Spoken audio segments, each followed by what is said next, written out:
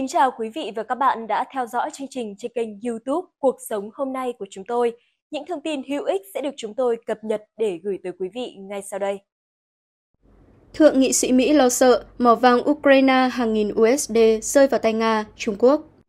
Thượng nghị sĩ Hoa Kỳ Lindsey Graham cho biết Washington không thể để cho phép Nga giành được chiến thắng trong cuộc xung đột Ukraine vì điều này có nghĩa là mất quyền tiếp cận trực tiếp với các tài sản khoáng sản khổng lồ. Trong một cuộc phỏng vấn với chương trình Face the Nation trên CBS hôm Chủ nhật 9 tháng 6, ông Graham đã cáo buộc Tổng thống Nga Vladimir Putin là một kẻ hoang tưởng và đang cố gắng tái tạo đế quốc Nga bằng vũ lực. Bắt đầu từ Ukraine, ông còn tuyên bố rằng nếu Nga thắng trong cuộc xung đột hiện tại, Nga sẽ tiếp quản tài sản của Ukraine và chia sẻ nó với Trung Quốc. Graham mô tả viễn cảnh đó là lỗ bịch, cho rằng sẽ tốt hơn nếu mỏ vàng này được cung cấp cho Hoa Kỳ.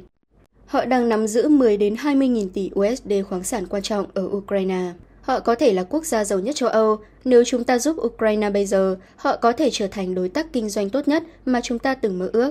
Rằng tài sản khoáng sản quan trọng trị giá 10 đến 12 tỷ USD có thể được Ukraine và phương Tây sử dụng, chứ không phải chỉ trao cho Putin và Trung Quốc, Graham nói. Ông tiếp tục, cách cuộc xung đột Ukraine kết thúc thế nào là một vấn đề rất lớn.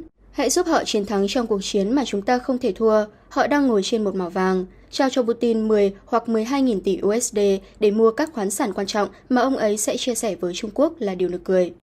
Graham là người có quan điểm diều hơ với Nga lâu năm và là một trong những người ủng hộ Ukraine trung thành nhất tại Thượng viện Mỹ. Ông còn kêu gọi phương Tây đẩy nhanh việc tịch thu 300 tỷ USD tài sản, chủ quyền bị đóng băng của Nga. Ông nhắc lại yêu cầu của mình đưa Nga vào danh sách là nhà nước tài trợ cho khủng bố theo luật pháp Mỹ, một đề xuất mà đầu năm nay khiến Nga xếp thượng nghị sĩ này vào danh sách những kẻ cực đoan và khủng bố của Moscow. Một ngày trước phát biểu của Graham, Thủ tướng Hungary Viktor Orbán phát biểu rằng phương Tây muốn Kiev giành chiến thắng trong cuộc xung đột với Nga để có thể kiểm soát sự giàu có của Ukraine. Trong một cuộc phỏng vấn với HTV, Orbán cáo buộc Mỹ và các đồng minh coi Ukraine là một nguồn thu tiềm năng khổng lồ mà họ sẽ có thể kiểm soát nếu Nga bị đánh bại. Ông cũng cho biết cuộc xung đột là lực lượng lớn cho các nhà cung cấp vũ khí, chủ nợ và nhà đầu cơ phương Tây, cho rằng đây là lý do khiến nó kéo dài quá lâu. Moscow nhiều lần tuyên bố trong suốt cuộc xung đột rằng mục tiêu của họ là bảo vệ phần lớn dân số nói tiếng Nga ở Donbass trước sự đàn áp của Kiev và đảm bảo an ninh của chính Nga trước sự mở rộng của NATO về phía biên giới của nước này. Moscow chưa bao giờ lên tiếng về bất kỳ ý định tiếp quản tài nguyên nào của Ukraine, nhưng đã nhiều lần nhấn mạnh rằng các khu vực cũ của Ukraine đã chọn gia nhập Nga, bao gồm cả Crimea, phải nằm dưới sự kiểm soát của Moscow.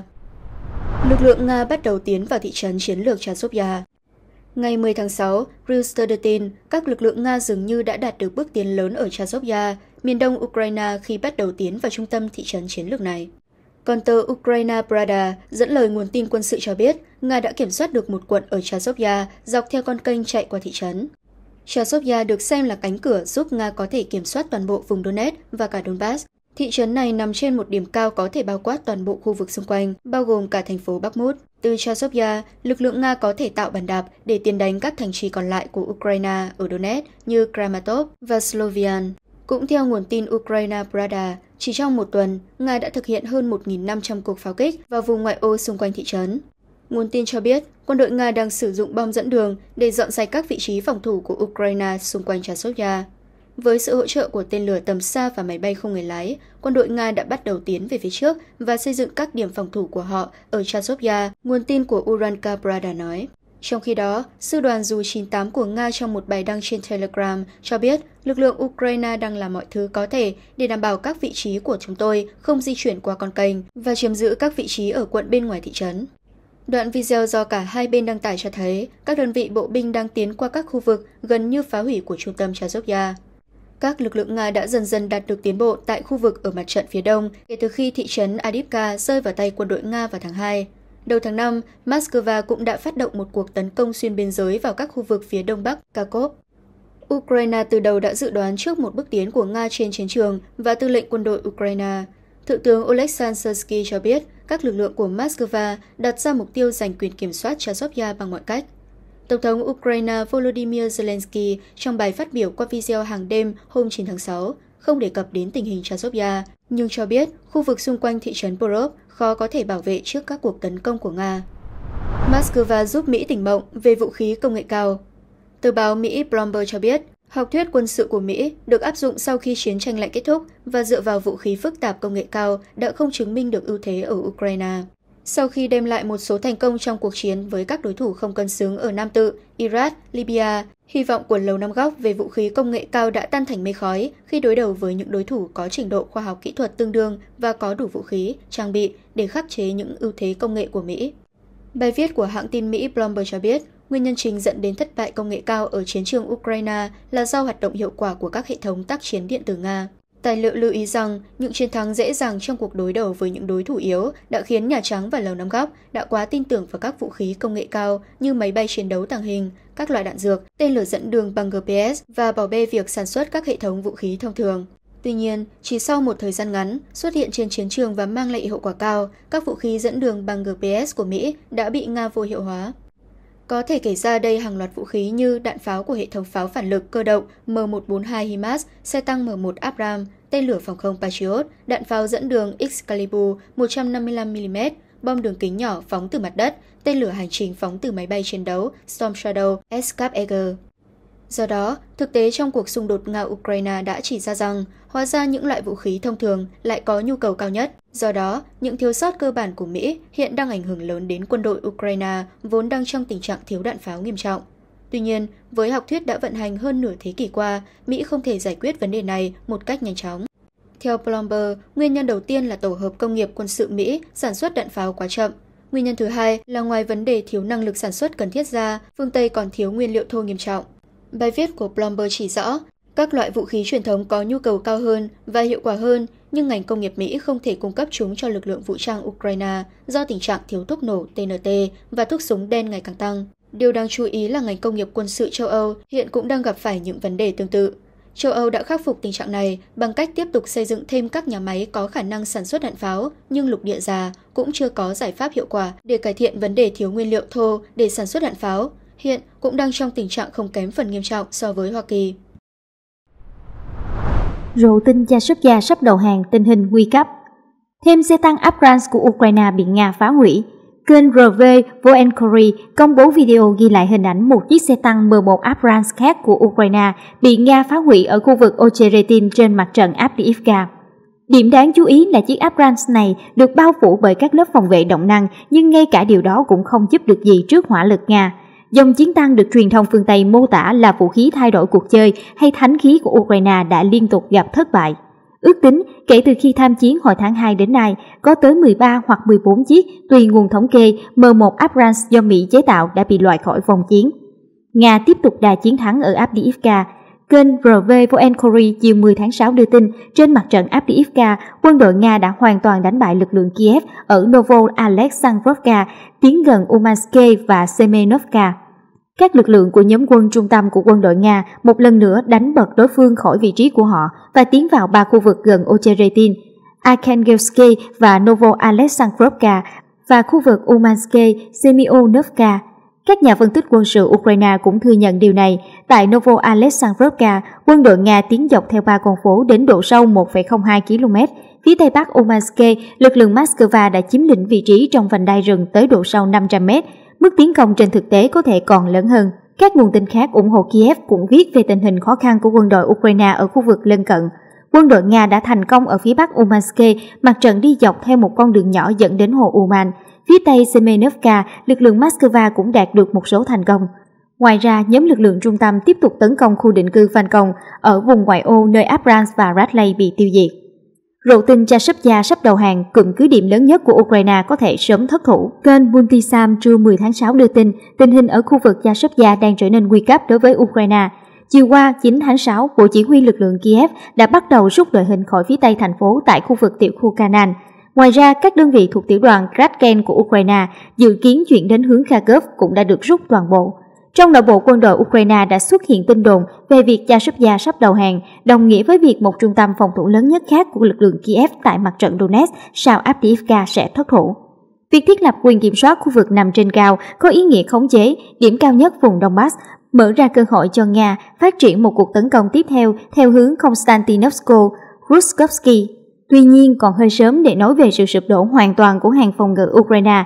Nhiệm vụ chính của lực lượng Kiev lúc này là yểm trợ cho việc rút lui của các đơn vị nằm bên kia kênh đào. Hệ thống phòng thủ của Ukraine tại đây là một công trình kiến trúc nhiều lớp, bị giới hạn bởi lưu vực tự nhiên của kênh Sevesky Donetsk Donbass. Về mặt logic, khu vực phòng thủ này gắn liền với Konstantinovka. Khả năng cơ động của các đội hình Ukraine đóng trong khu vực được tạo điều kiện thuận lợi cho họ hoạt động theo nhóm tiểu đoàn chiến thuật, được tăng cường bằng xe bọc thép và pháo binh phối thuộc, chủ yếu là súng cối 82 và 120 mm. Ngoài ra, lực lượng Kiev còn có các trận địa pháo tầm xa như 152 và 155 mm hoạt động với sự hỗ trợ của radar phản pháo bố trí phía sau Chasovya. Quân đội Nga mở rộng vùng kiểm soát ở Avdiivka, kênh Riba tóm lược các diễn biến chiến sự đáng chú ý trong ngày 9 tháng 6. Lực lượng Nga tấn công các mục tiêu quân đội Ukraine ở Kharkov. Ngược lại, Kiev tiếp tục pháo kích vào các khu vực biên giới của Nga, bao gồm cả việc sử dụng bơm dẫn đường do phương Tây sản xuất. Theo hướng Kupiansk và Tov, lực lượng Moscow đang tiến dọc theo tuyến đường sắt về phía Stebova Novoselivka. Trên hướng Bakhmut diễn ra các trận chiến ở trung tâm tiểu khu Kanan và trên lãnh thổ của nhà máy sửa chữa Chasovya. Theo hướng Avdiivka, quân đội Nga mở rộng vùng kiểm soát về phía Bắc và Tây Bắc Umansk, củng cố tại khu vực Babaki Guli.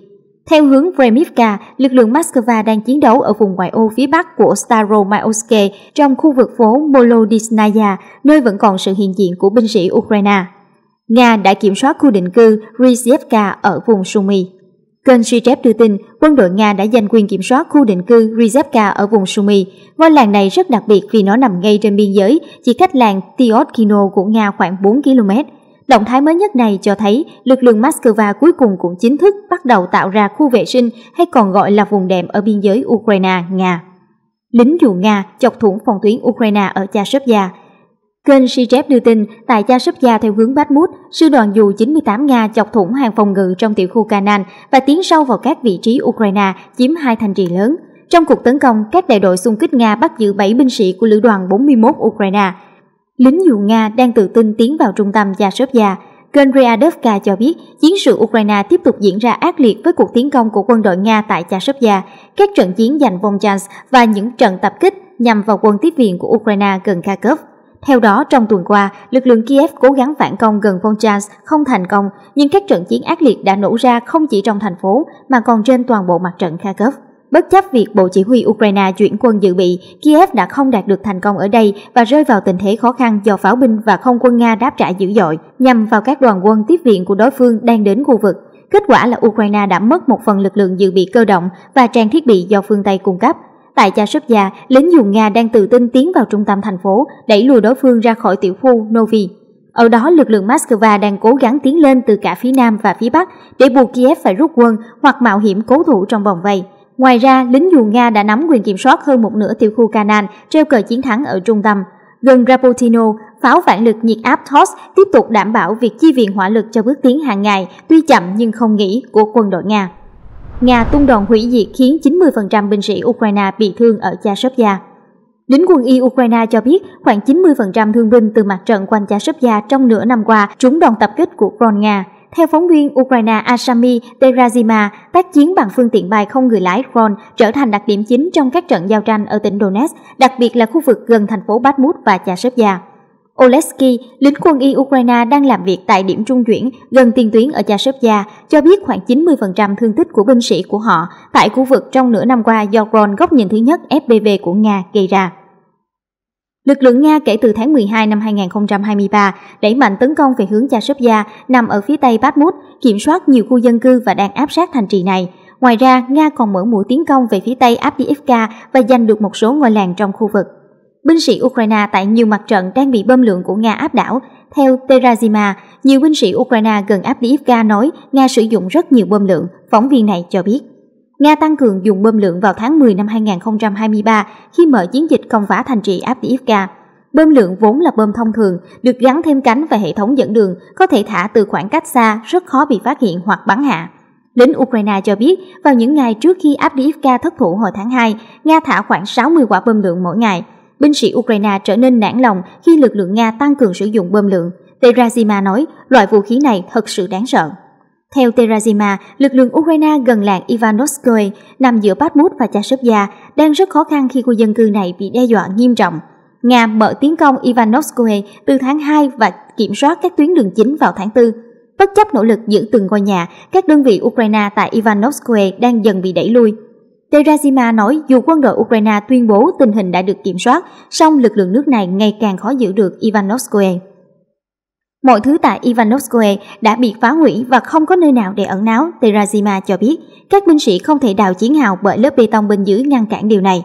Trung tá Naza Voloshin, phát ngôn viên nhóm tác chiến Khotisia của Ukraine, phủ nhận thông tin Ivanovskoye bên bờ vực thất thủ. Terashima nhận định giới chức Ukraine muốn duy trì hình ảnh kiên cường và việc đưa chi tiết về tổn thất của các đơn vị nước này là điều cấm kỵ.